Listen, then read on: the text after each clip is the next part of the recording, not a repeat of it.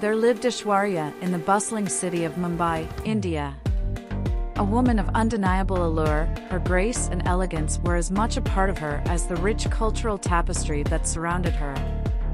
Aishwarya's dusky skin seemed to glow under the warm Indian sun, and her expressive eyes hinted at a depth of wisdom acquired through a lifetime of experiences. In the heart of Mumbai, Aishwarya effortlessly navigated the juxtaposition of tradition and modernity. Clad in vibrant saris that accentuated her curves, she moved with a rhythm that mirrored the lively energy of the city. Aishwarya's allure extended beyond the physical, her intellect and charisma were equally captivating, making her a beacon of sophistication in a metropolis that never slept.